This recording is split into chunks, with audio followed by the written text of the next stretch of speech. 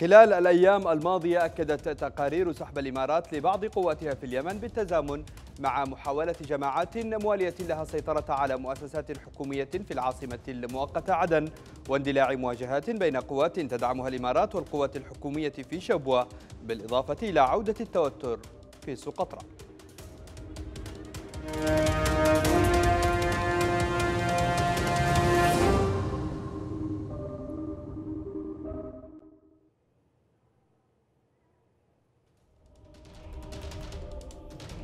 البعض يرى أن كل هذه الأحداث مترابطة فيما بينها فعلى الرغم من التبريرات الإماراتية المقدمة لخفض تواجدها في اليمن والتي تؤكد أن السبب يعود إلى أن ذلك يأتي في إطار دعمها للحل السياسي فإن هذه التوترات التي تشعل عددا من المحافظات الجنوبية تبدو وكأنها نتيجة مباشرة لهذا الانسحاب الجزئي للإمارات. يؤكد هؤلاء أن الجماعات الموالية لأبو ظبي تسعى لتحقيق أمر واقع في هذه المحافظات وخصوصا في العاصمة المؤقتة عدن قبل الانسحاب النهائي. كما أن أبو ظبي تواصل ضغطها على الحكومة الشرعية من خلال إطلاق يد الجماعات الموالية لها في الجنوب للتأكيد على دورها في كبح الانفصاليين وبغرض الحصول على التنازلات المطلوبة. على الطرف الآخر يرى فريق أن انسحاب الإمارات كان قد حدث فعلا لا علاقة له بما يحدث في عدن وشبوة وسقطرى وأن ما يحدث يأتي في إطار استحقاقات سياسية فرضتها طبيعة الظروف القائمة. للنقاش سيكون معنا من عدن الصحفي في الدائرة الإعلامية المجلس الانتقالي الجنوبي منصور صالح ومن عمان في الأردن الباحث والمحلل السياسي عبد الناصر المودع. والبداية مع السؤال المشترك وأبدأ مع ضيفي من العاصمة المؤقتة عدن أستاذ منصور. صالح أهلا بك أستاذ منصور. أهلا وسهلا. أستاذ منصور انسحاب جزئي لأبو ظبي هل سيتراجع الدور الإماراتي في اليمن؟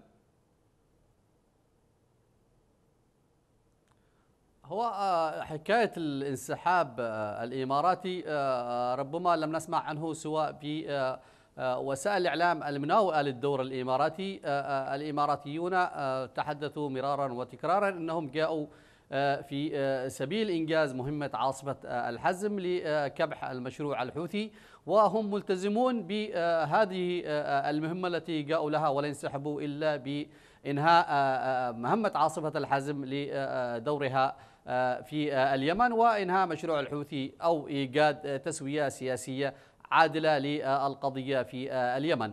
مسألة الانسحاب هذه تكررت مرارا وتكرارا منذ سنوات ونحن نسمع وسائل إعلام الإصلاح والإعلام الحوثي وهي تتحدث باستمرار وبلغة مشتركة عن انسحاب القوات الإماراتية وكانوا غالبا ودائما ما يأتون بصور بصور تحكي أنه القوات الإماراتية قد انسحبت وأنها قد تخلت عن مهامها وكأنهم ما يعبرون عن أحلامهم هذه الأحلام التي نعتقد أنهم يخطئون كثيرا لأنه في حال أن انسحبت الإمارات ستكون الشرعية هي الخاسر الأول تحدث عن وسائل نعم. إعلام نعم. تحدثت عن هذا الخبر عن الول ستريت جورنال ورويترز هذه تتبع الإخوان والإصلاح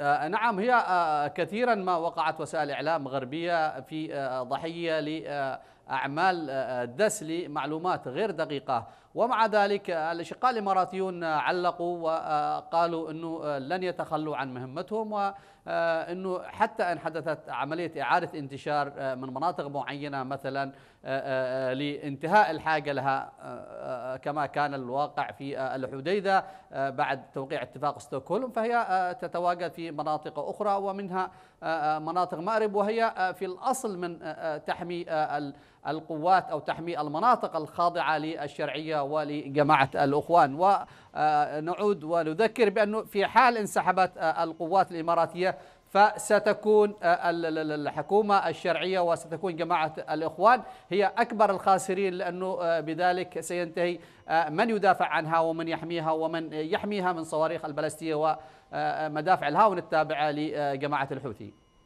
طيب أستاذ منصور بحسب التقارير الإعلامية المتداولة اليوم في ما يخص الإمارات هي بررت انسحابها الجزئي من اليمن بدعمها للحل السياسي في اليمن. المجلس الانتقالي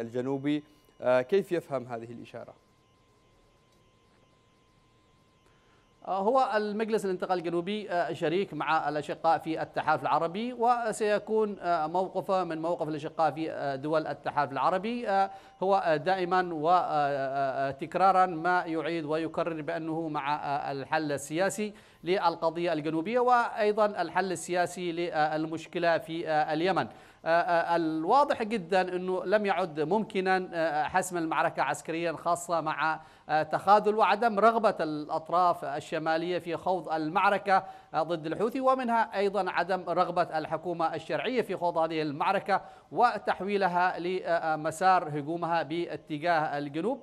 يبدو أنه ذلك سيدفع ربما العالم كله وسيدفع دول الاتحاد العربي للاقتناع بأنه لا توجد رغبة شمالية لدى القوى الشمالية ومنها التجمع اليمني للإصلاح والحكومة اليمنية لمواجهة الحوثي ولن يكون العالم لن يخوض معركة نيابة طيب عن أستاذ الشرعية منصور سأعد لك. وهذا التحليل الحياة. منصور سأعد لك. وهذا التحليل الذي قلت أنه ربما المعركة لن تحسم عسكريا. البعض قد يفهم هذه الإشارة أنها ربما ما حدث من قبل القوات الإماراتية قد يكون مقدمة لذلك أنه لن يكون هناك حسم عسكري فبالتالي بدأت بالانسحاب. أرحب بضيفنا من الأردن الكاتب والمحلل السياسي والباحث عبد الناصر مودع. أهلا بك أستاذ عبد الناصر. أهلا بكم. أستاذ عبد الناصر سأبدأ معك بالسؤال المشترك معنا في آه، حلقة هذا اليوم. انسحاب جزئي لأبو ظبي آه، هل سيتراجع الدور الإماراتي في اليمن؟ آه، مساء الخير أخ سامي وتحية للأخ منصور. لا يمكن الآن حتى الآن القول بأن الإمارات قد تراجع دورها. آه، خاصة وأن الانسحابات لا زالت آه، آه، ما ذكر هي ما يشبه إعادة تموضع. بمعنى أنها انسحبت من مارب ربما سحبت جزء من معداتها الثقيلة من الساحل الغربي كما ورد في الأخبار. آه، لكن بشكل عام يبدو أن هناك مراجعة هناك مراجعة إماراتية للدور لدورها في اليمن. آه، خاصة وأن الوضع في اليمن أصبح آه، وضع فوضوي وأصبح اليمن بمثابة مستنقع للسعودية وللإمارات و- ولهذا السبب ربما يتلو هذه هذا الانسحاب آه، خطوات أخرى تعتمد على الأوضاع على الأرض. آه، إضافة إلى ذلك على العلاقة مع السعودية لأنه كما تعرف آه، هناك على ما يبدو آه، خلاف سعودي إماراتي وخاصة فيما يتعلق بالمشروع الانفصالي في الجنوب. آه، السعودية آه، لا ترى بأن المشروع الانفصالي آه، في صالحها بينما الإمارات لديها طموح خاصة بتقوية المشروع الانفصالي في الجنوب. وبالتالي هذه الخلافات آه، ظهرت لم تظهر حتى الآن على السطح ولكن هناك قرائن كثيرة تشير إلى أن هناك خلاف إماراتي سعودي لكن في كل الأحوال السعودية ليس من مصلحتها في الوقت الحالي أن تدخل في خلاف علني مع الإمارات لأنها في هذه الحالة آه، ال- ال- السعودية ستبقى وحدها وسينتهي التحالف آه تماما. آه إضافة إلى ذلك هناك فراغ سيتركه الإماراتيون في حال انسحبوا من جميع المناطق لا تستطيع السعودية سد هذا الفراغ مباشرة. وفي هذه الحالة أعتقد بأن السعودية من مصلحتها ألا يتطور خلافها مع الإمارات إلى الحد الذي آه، تنسحب الإمارات بشكل كامل من آه، اليمن. آه، وكل وكل هذه العوامل آه، آه، ستظل مرتبطة آه، بالأوضاع في اليمن وفي المنطقة عموما.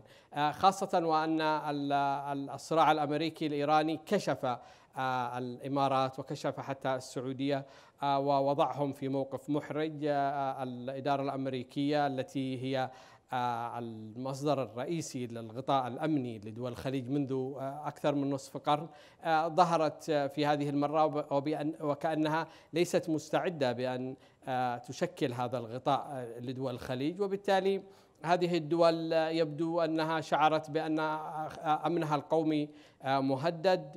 آه، وأن الحامي الخارجي آه، غير مستعد لأن يقوم بما كان يقوم به من سابق. آه، كل هذه الأمور آه، ربما أثرت على الذهنية في الإمارات. آه، الأمر الذي جعلهم ربما يراجعون دورهم في اليمن. ولكن بشكل عام لا نستطيع أن نقول بأن هناك انسحاب إماراتي كامل أو حقيقي من اليمن حتى الآن. طيب أعود للأستاذ منصور صالح. أستاذ منصور آه، التقارير الإعلامية المتداولة أيضا تقول أن الإمارات بررت انسحابها الجزئي بالدعم للحل السياسي. ذكرنا ذلك سابقا. أنت قلت ربما أنه لن يحصل حسم عسكري في اليمن. يفهم هذا التحليل وهذه الإشارة أنه إذا هذه الانسحابات جاءت في هذا السياق. ربما والإمارات كما أشار الأستاذ عبد الناصر تريد إغراق السعودية في في مستنقع الحرب في اليمن. وأن ذلك نتيجة طبيعية للخلاف الحاصل فيما بينهم اليوم وربما في موضوع الجنوب واحدة من ملامح هذا الخلاف. آه، نعم. أنا أولا كنت أتمنى أن أسمع حديث الأخ عبد الناصر آه، آه، المودع لأنني لم أسمعه بالمطلق. وتحليلي حينما قلت بأن المعركة لم تحسم هو لا تعني أنه هناك إقرار بموضوع الانسحاب الإماراتي الجزئي الذي تتحدثون عنه. آه، نحن آه، آه، نقولها دائما والأشقاء الإماراتيون أكدوها بأنهم لن ينسحبوا حتى انتهاء مهمتهم في اليمن بحسب الدعوة التي وجهت لهم من رئيس الجمهورية اليمنية الرئيس عبد الربو منصور هادي. مع ذلك نحن نقول أنه المؤشرات تؤكد دائما بأنه لا توجد رغبة لدى الأطراف الشمالية لخوض المعركة ضد الحوثي. وهم عمدوا خلال خمس سنوات من الحرب على استنزاف التحالف وعلى إغراقه في مشاكل كثيرة ومع ذلك لم يجد التحالف العربي الذي يضحي بالمال والرجال في سبيل الدفاع عن المحافظات الشمالية وفي سبيل دحر مشروع الحوثي سواء الهجوم الذي لا يتوقف والذي تكرس له وسائل الإعلام حلقات لا لا عدد لها ومنها هذه الحلقة للإساءة للدور الإماراتي هذا الدور الذي كان ينبغي أن يكون محط تقدير طيب وعرفان أليس في هجومك هذا أستاذ منصور تجلي المختلفة. أن تقول أن هذه الحلقة مخصصة للإساءة للدور الإماراتي. أين هي الإساءة ولماذا؟ هي هي هي بشكل عام هي بشكل عام ما يبث في معظم القنوات الفضائية للأسف. ومنها قناة بلقيس دائما يتحدث آه، ومنها ما يقول ضيفكم عن أنه هناك نوايا إماراتية لإغراق السعودية أنه هناك انسحاب إماراتي أنه هناك دور إماراتي مشبوه آه، آه، لفصل الجنوب عن الشمال وأنه هناك دور ميليشيات تتبع الإمارات وأن الإمارات تسعى لإفشال الحكومة الشرعية. الإمارات العربية المتحدة لسنا في صدد الدفاع عنها لكن طيب بما أنك أشرت إلى الجماعات المسلحة التابعة للإمارات اليوم في الجنوب هذه ما حصل إعادة التموضع والانسحاب الجزئي ما حصل للقوات الإماراتية. كيف سيؤثر على وضع هذه الجماعات المسلحة الموالية للإمارات والتي تحظى بدعم منها لا توجد جماعات مسلحة آه، آه، آه، تتبع الإمارات في الجنوب. يوجد في الجنوب قوات مسلحة جنوبية هي الجيش الجنوبي الذي سرحته صنعاء بعد الوحدة وغدرت به. وتوجد مقاومة جنوبية هي صاحبة الحق وصاحبة الانتصار الحقيقي الذي تحقق ضد ميليشيا الحوثي وتوجد أيضا أجهزة أمنية تم بناؤها بدعم من الأشقاء في الإمارات وهي ليست تابعة للإمارات هي أجهزة أمنية جنوبية وقوات مسلحة جنوبية هي اليوم من تحمي الجنوب طولا وعرضا وبالتالي هو مجازا أستاذ منصور يقال أنها تابعة للإمارات لأنها تحظى بالدعم والتسليح والتمويل من الإمارات.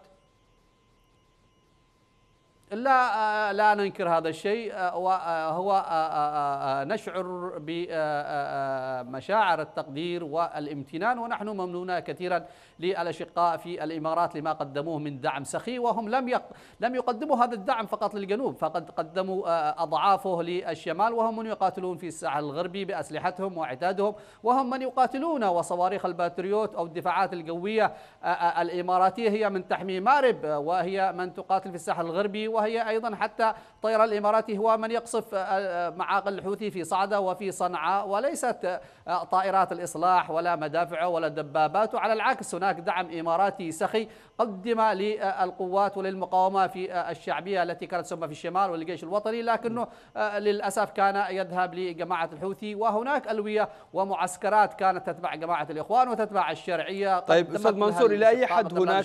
قال الأستاذ عبد الناصر المعذرة المعذرة أكمل أكمل فقط.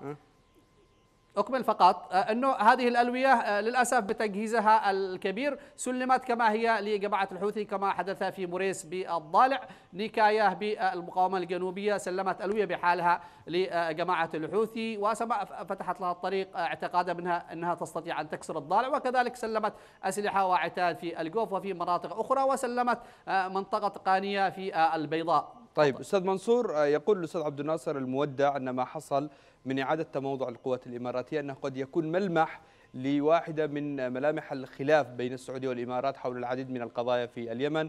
لعل الأبرز فيها موضوع الجنوب. ما تعليقك؟ آه، لا أدري لماذا الإصرار. لا لا نعم نعم نعم. لا أدري لماذا الإصرار على شق آه، آه، العصا ما بين دول التحالف العربي التي يبدو أنه تحالفا متينا. وهناك تنسيق للعمليات الحربية وهناك تنسيق للجهود الإنسانية. ولا نظن ما نلمسه حتى الآن هو وحدة القرار العربي. وهناك اتفاق ما بين القيادتين الإماراتية والسعودية.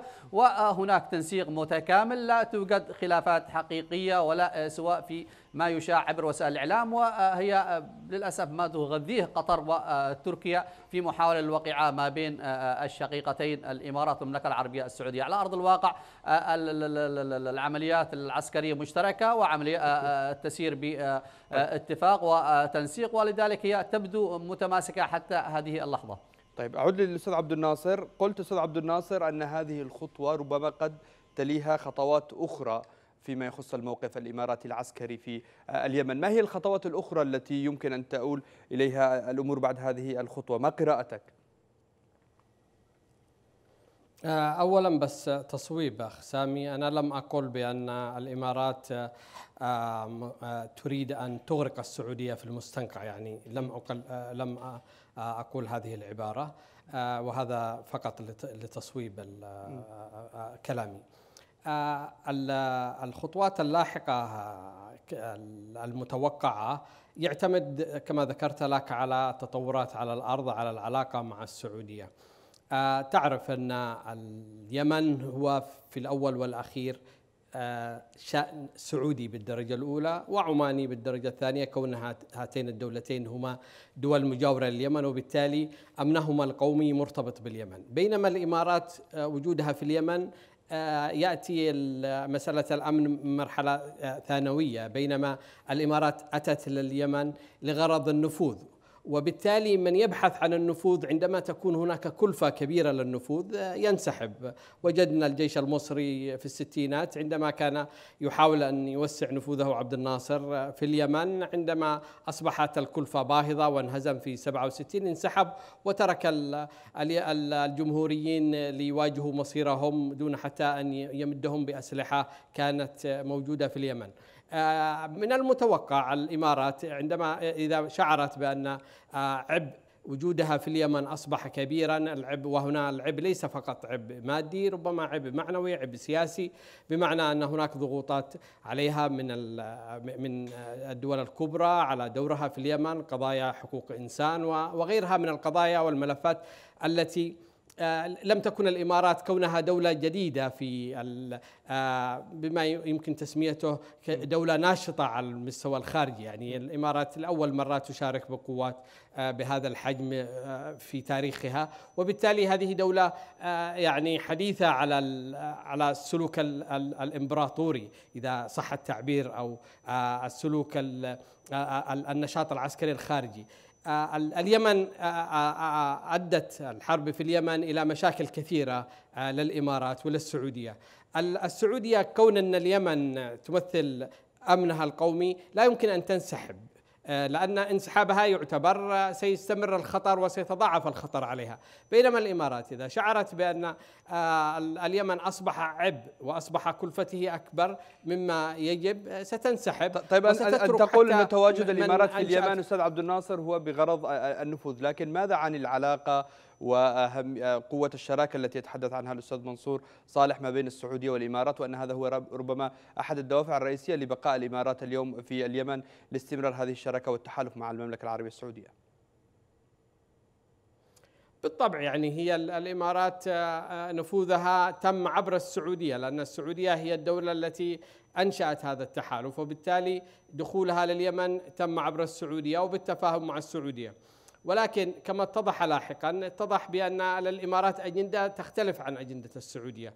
عندما آه، تساهم الإمارات في إنعاش المشروع الانفصالي في تقوية المشروع الانفصالي هذا يضر السعودية. هذا يقوي الحوثي لأنه في في نهاية الأمر أنت عندما تنشئ كيان انفصالي في الجنوب معنى أن الحوثي يستمر آه، قوة رئيسية في الشمال وبالتالي هذا ما تريده إيران يعني ويتناقض تماما مع الهدف الأصلي للتدخل، الهدف الأصلي للتدخل من الناحية القانونية والشكلية هو لاعاده الشرعية التي لم يسمح بإعادتها بأي شكل من الأشكال وتحديدا فيما يسمى العاصمة المؤقتة عدن. آه، الهدف الرئيسي الآخر وهو هزيمة الحوثي وإنهاء الحركة الحوثية آه، وهذا هو الهدف الرئيسي. هذا الهدف لم يتحقق بل على العكس الحوثي الآن أقوى مما كان عليه قبل أربع سنوات والسبب الأخطاء الجسيمة التي ارتكبها التحالف. التحالف كان عليه أن يوجه منذ اليوم الأول جهوده نحو ضرب الحوثي لا أن يذهب إلى الجنوب أو لا تعز أو إلى أي مناطق أخرى كان عليه أن يوجه جهوده طيب أنقل هذه النقطة للأستاذ منصور في صعدة. في, في, عبد الناصر في ذلك الوقت. طيب. المشروع الانفصالي هو السبب واحد من الأسباب الرئيسية التي عاقت السعودية عن تحقيق هدفها. وبالتالي طيب. استمرار الإمارات بدعم هذا المشروع معناه أنه يتناقض مع المش... الهدف الأساسي الذي أتت من طيب أنقل هذه النقطة مباشرة للأستاذ منصور صالح. تعليقك على هذه النقطة. دعم وإزكاء وإنعاش المشروع الانفصالي يخدم الحوثيين أكثر ويؤخر من عملية استعادة الشرعية والتي كان بناء على أساسها تتدخل الأشقاء العرب في اليمن. اولا كنت أتمنى على الزملاء في الكنترول إصلاح الصوت. أنا لا أسمع بالمطلق ما يقول الأخ عبد الناصر. تمام أتمنى على الزملاء تدارك هذه المشكلة مشروع حتى الحوثي أكثر من يخدم مشروع الحوثي هم الذين يرفضون قتاله. في جبهة نهم أكثر من خمس سنوات وهم نائمون. ومن يخدم مشروع الحوثي هم من سلم إليه ألوية بأكملها في مريس بالضالع. ومن يخدم مشروع الحوثي هم من آه، آه، آه، دفعوا باتجاه توقيع اتفاق ستوكهولم في الحديدة وأنقذوه في اللحظة الأخيرة بعد أن كادت قوات العمالقة على وشك إسقاط المدينة. ومن يخدم مشروع الحوثي هم من يهاجم دول التحالف العربية التي تقاتل الحوثي. من يخدم مشروع الحوثي هم من يهاجمون المقاومة الجنوبية والقوات الجنوبية التي مرقت أنف الحوثي بالتراب. من يخدم مشروع الحوثي هم من يتركون في صنعاء يعبث ويهين الناس ويذلهم ويختطف النساء ويعتقلهن. وهم مشغولون بسقطرى ومشغولون بنفط شبوة وثرواتها من يخدم مشروع الحوثي هم الرافضون من الانسحاب من وادي حضرموت ويدفعون إلى زعزعة الأمن والاستقرار في هذه المنطقة في مقابل أنهم يرفضون الاتجاه للجبهات. هؤلاء هم كما هو واضح يخدمون طيب ما أنك أشرت ويعتبرون طيب أنه خصمهم طيب أستاذ منصور يعتبرون خصمهم هو الجنوب الذي يقاتل الحوثي طيب أشرت إلى عدن وشبوة وسوقطرة وحضرموت وهذا مدخل لننتقل للمحور الثاني في هذه الحلقة. مع الأنباء التي تحدثت عن بدء الانسحاب الجزئي وإعادة تموضع القوات الإماراتية حدثت أحداث في محافظات جنوبية في العديد من المؤسسات آه، محاولة السيطرة وإقفال العدد من المؤسسات وأيضا توترات في عدن وشبوة وربما في سقطرى آه، قيل أن هذا يعني أن المجلس يحاول اليوم فرض سيطرته قبل إنهاء الوجود الإماراتي. فسرت هذه الأحداث بهذه الطريقة. ما ردك؟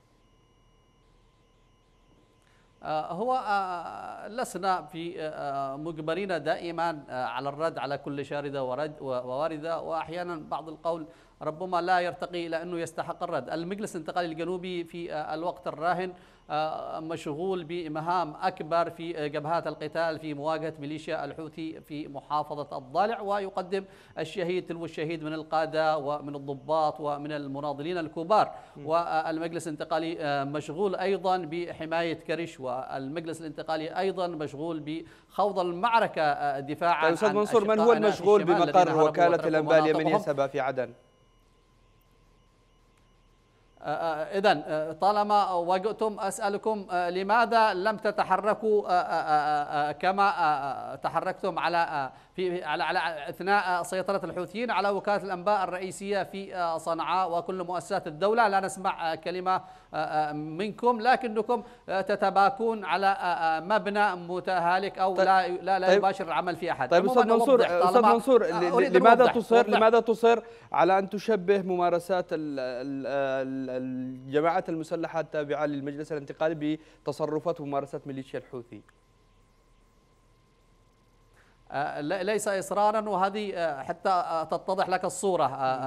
من الإخوة الذين قاموا بإنزال اللوحة من على مقر وكالة الأنباء اليمنية سبا ليسوا لا يمثلون المجلس الانتقالي الجنوبي وهم مجموعة من الشباب الجنوبي الغاضب الذين أثارت حفيظتهم واستفزتهم أن تقدم هذه الوكالة التي في الأساس لا تزاول عملا.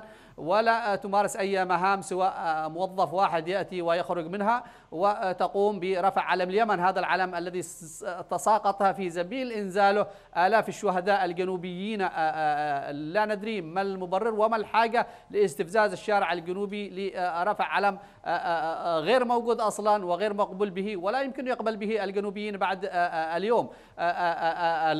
من قاموا بإزالة هذا العلم كانوا مجموعة من الناشطين الجنوبيين الذين هم على الدوام يقضون وحريصون على ألا تمر مثل هذه الاستفزازات طيب التي يبدو أنها يعني إذا كانت المشكلة العلم إذا كانت المشكلة العلم أستاذ منصور قرات أنا في عدن الغد لأحد الزملاء الصحفيين في فرع نقابة الصحفيين في عدن يقول إذا كانت مشكلة المشكلة في موضوع النقابة العلم أنزلوه وضعوا العلم الجنوبي لا مشكلة. طيب سأعود لك أستاذ منصور صالح أعود للأستاذ عبد الناصر المودع. أستاذ عبد الناصر هذا الانسحاب الجزئي آه، وفي نفس التوقيت مع تصاعد المواجهات وتوجهات الجماعات الموالية اليوم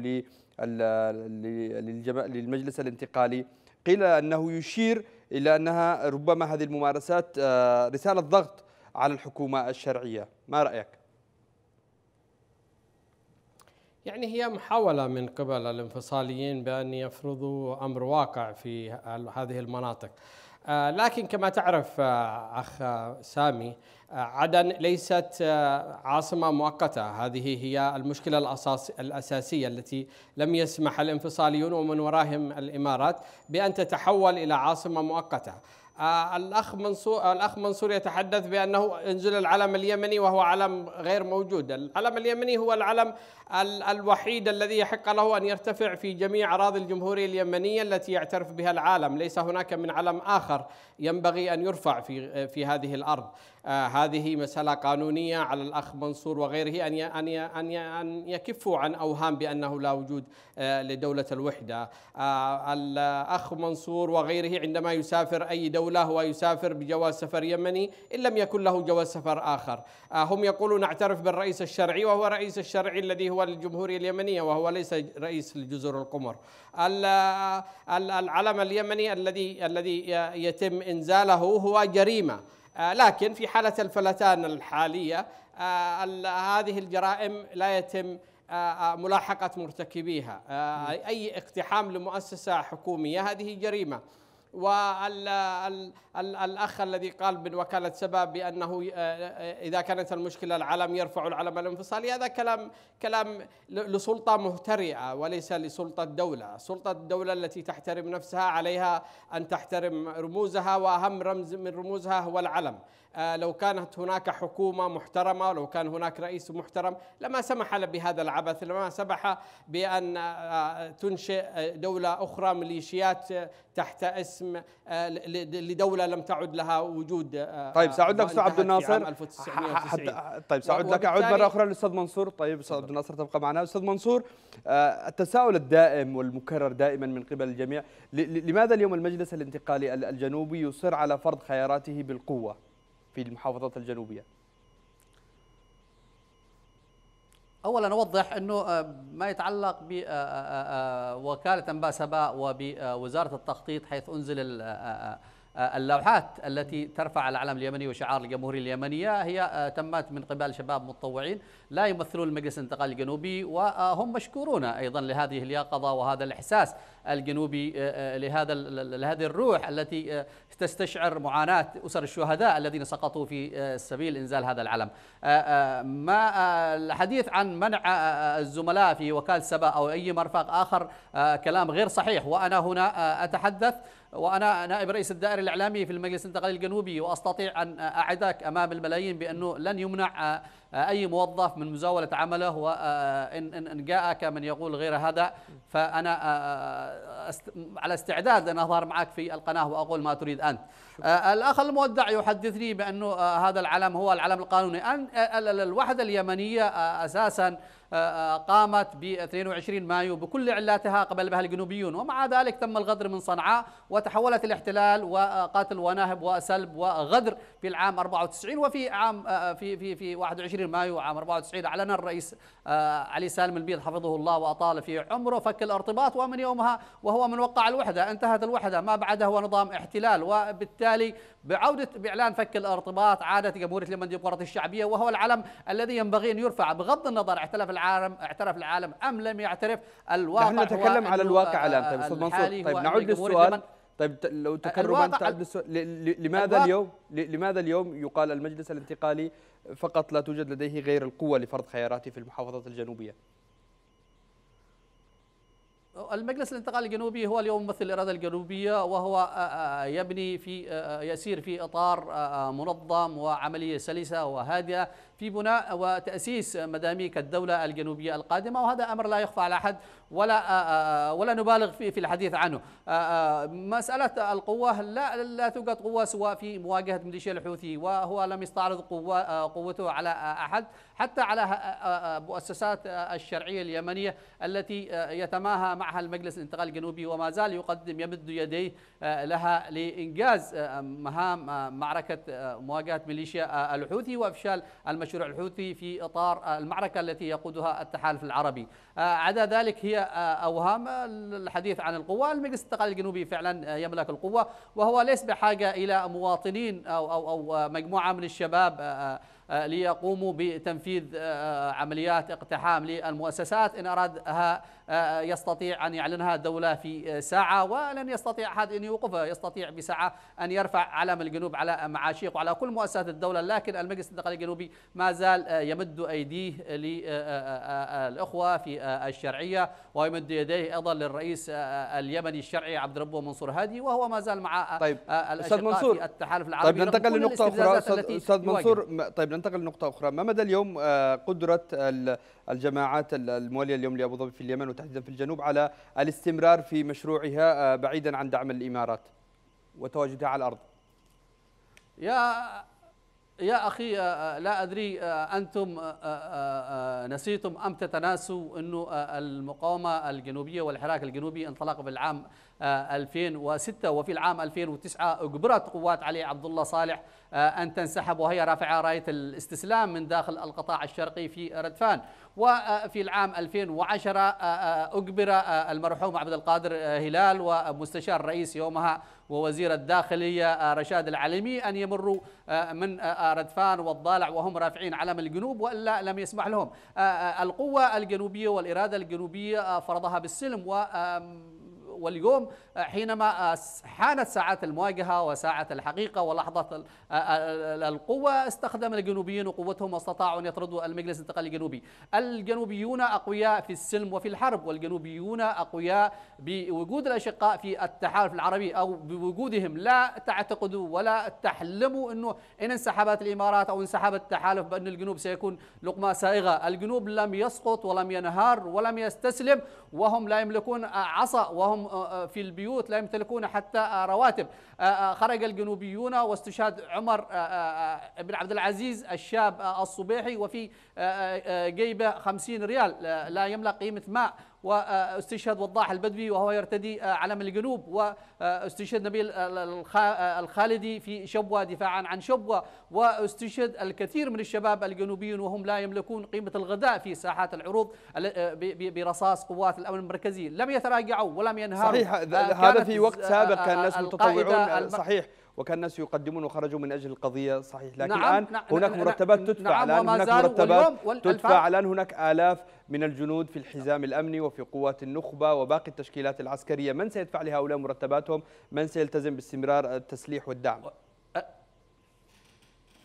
الحمد لله أنا أقول لك إنه هذه القوة التي أجبرت علي عبد الله صالح على الانسحاب وعلى الاستمرار وأجبرت هلال وأجبرت العليمي على أن يرفعوا علم الجنوب وأسقطت علم اليمن من كل المحافظات الجنوبية قبل الوحدة باستثناء المرافق التي كان يحرسها الأمن المركزي. هؤلاء اليوم باتوا لديهم قوة وباتت لديهم دبابات ومدافع وباتت لديهم جيش. لدينا اليوم أكثر من خمسين ألف. لدينا اليوم النخبة الشبوانية الضاربة ولدينا النخبة الحضرمية لدينا الحزام الأمني ولدينا أمن عدن ولدينا أكثر من عشرة ألوية هي الوية الصاعقة لدينا قوة ركعت الحوثي ولن يعجزها ان أن تركع قوات علي محسن الأحمر أو غيرها.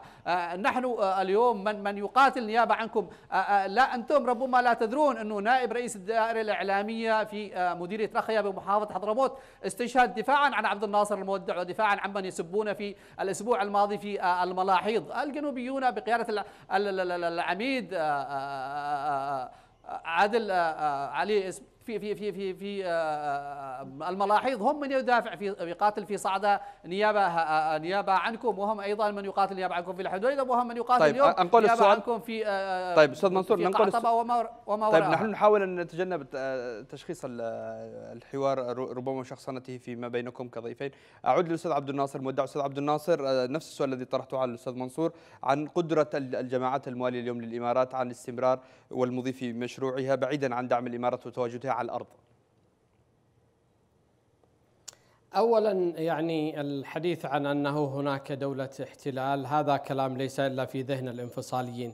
العالم في 94 قرارات مجلس الأمن حينها لم تذكر إلا صراع محلي.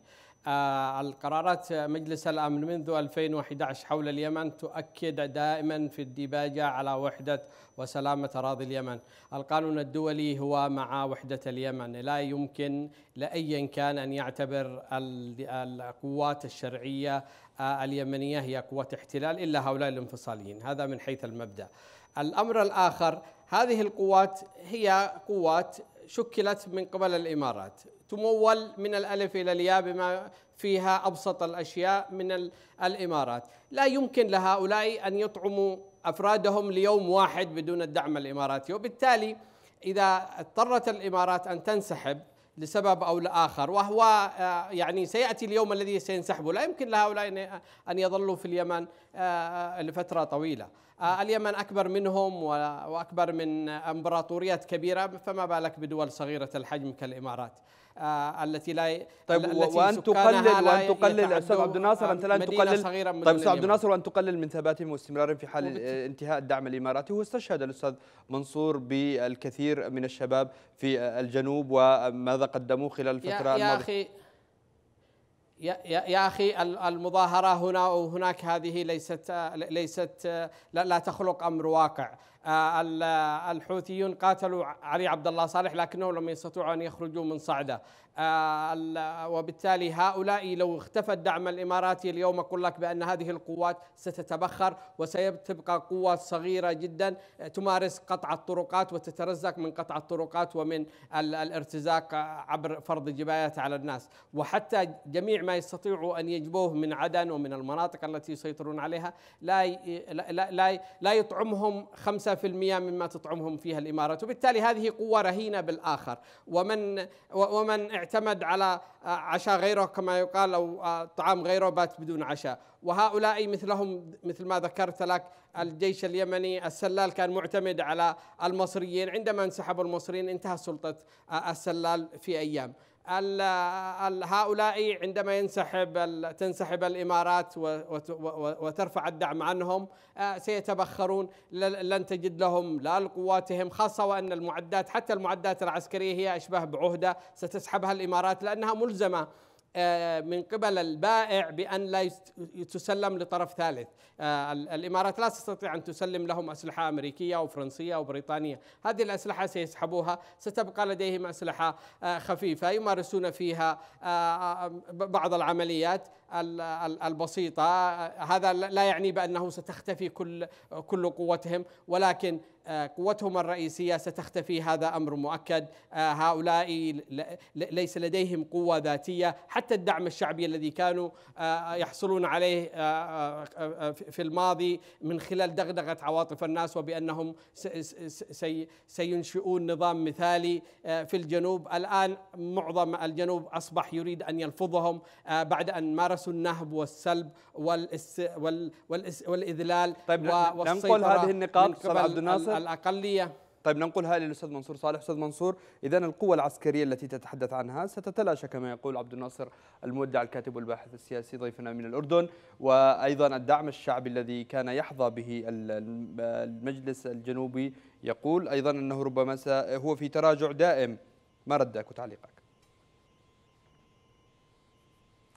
والله أنا أستغرب إنه آه آه واحد بهذا الحجم لا يخجل أن يقول آه كلام كهذا. آه طيب الواقع في منصور ارجوك نبتعد عن الشخصنه القوات دعنا دعنا نحلل وتتكلموا لا لا, لا, لا, لا ليست أفضل. ليست ليست. يا يا يا أخي سامي آه الرجل الرجل يتهم الرجال بانهم مرتزقة وبقطاع طرق ولا يدري وأنهم يتلقون مصروفهم من الامارات ولا يدري أنه هو من يتلقى مصروفه في فنادق عمان. يعني نحن على أرضنا وصامدون وثابتون بوجود الإمارات الإمارات بغياب الإمارات بوجود السعودية بغيابها.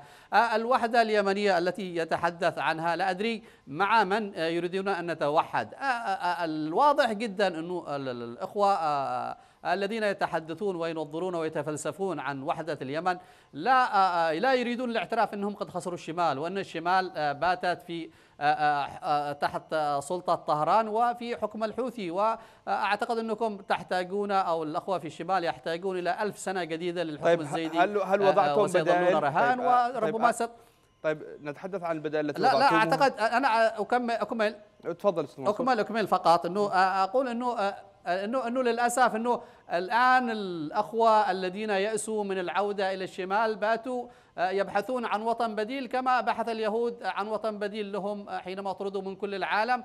آه، ذهبوا إلى فلسطين والأخوة الشماليون الذين طردهم الحوثي يريدون أن يبحثوا عن وطن وطن بديل في الجنوب والجنوبيون ليسوا في وضع فلسطين في الأربعينات. للأسف يا أستاذ منصور للأسف يا أستاذ منصور صحيح أن الميليشيا الحوثي استقوت عليهم.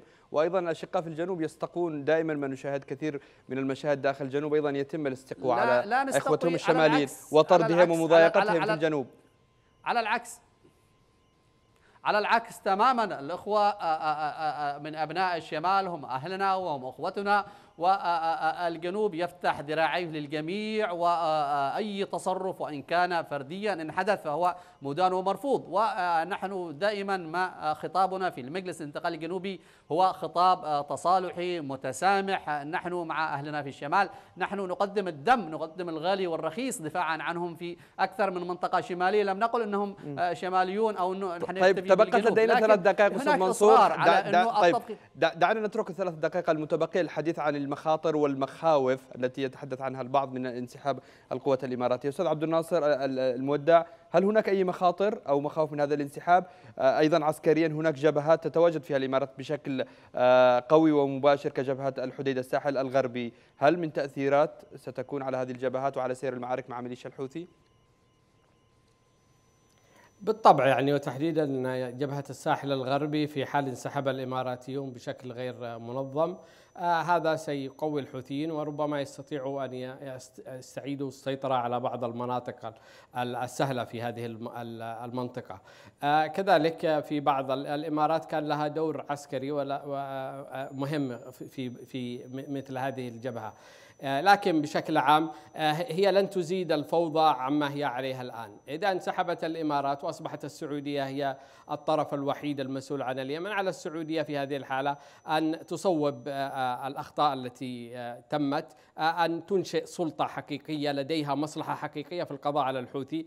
ليس هادي هادي ليس لديه مصلحة في القضاء على الحوثي. هو يريد الحوثي لأنه يبقي في السلطة. الإنفصاليون يريدون الحوثي أن يبقى في الشمال ويمثل الشمال. كما ذكر لك يقول يقول الشمال بيد الحوثي وهم يريدوا أن يظل الحوثي مسيطر على الشمال وهذا يتناقض مع الهدف الرئيسي الذي دخلت من أجله الإمارات والسعودية وهو إسقاط الحوثي وليس تقوية الحوثي. هؤلاء يريدون أن أن اتركوا لنا الجنوب ونترك الحوثي في الشمال وهذه هي أجندة إيرانية وليست أجندة سعودية. على أذكر الأخ آه، هذه أجندة إيرانية عملت عليها إيران منذ فترة طويلة. إيران آه، دعمت الانفصاليون دعمت الحوثي وكأن أجندتها الآن يتم تنفيذها من قبل الانفصاليون في الجنوب ومن قبل الحوثيين في الشمال. الحوثيين أيضا من من من فترة طويلة وهم يوصلون للجنوبيين بأن طيب. لسنا مهتمين بالجنوب. طيب ننقل النقطة للأستاذ منصور. الجنوب للانفصاليين طيب. أنقل النقطة للأستاذ منصور آه، حول المخاطر والمخاوف وأيضا تأثير الانسحابات على سير المواجهات والمعركة مع ميليشيا الحوثي. نعم هي المخاطر ستكون محدقة وحقيقية وسيكون من شأن انسحاب الأشقاء في الإمارات أو الأشقاء في السعودية أنه آه، أن يعلن آه، آه، الاعتراف رسميا بالحوثي كحاكم للشمال. وأتوقع أنه إن انسحبت الإمارات سيكون الحوثي خلال ساعات في داخل مدينة مأرب آخر معاقل آه، الحكومة الشرعية. وسيكون أيضا سيتمكن أيضا من السيطرة على الحديدة وباقي مناطق الشمال. وستعلن الشمال منطقة أو عاصمة كما قالوا آه، رابعة تابعة لطهران. جنوبا نعتقد أنه الانسحاب ربما سيعطي الجنوبيين وسيجعلهم في حل من كل الالتزامات وسيكون من شأن أو بمقدورهم إعلان الدولة الجنوبية المستقلة دولة الجنوب وعاصمتها عدن وهذا ربما ما يطمح إليه الكثير من الجنوبيين الذين يعتقدون اليوم أنه آه، آه، لولا. الالتزام للأشقاء في التحالف العربي وفي مهمة آه، خوض هذه المعركة لا تفرغوا لدولتهم ولا أعادوا قواتهم التي تقاتل بقيادة العقيد المصعبي في داخل الملاحظ والعدو قواتهم. أشكرك جزيلا أستاذ موسى صالح انتهى وقت هذه الحلقة والحجز عبر الأقمار الصناعي أنا مضطر لإنهاء هذه الحلقة. شكرا جزيلا لكم ضيفي.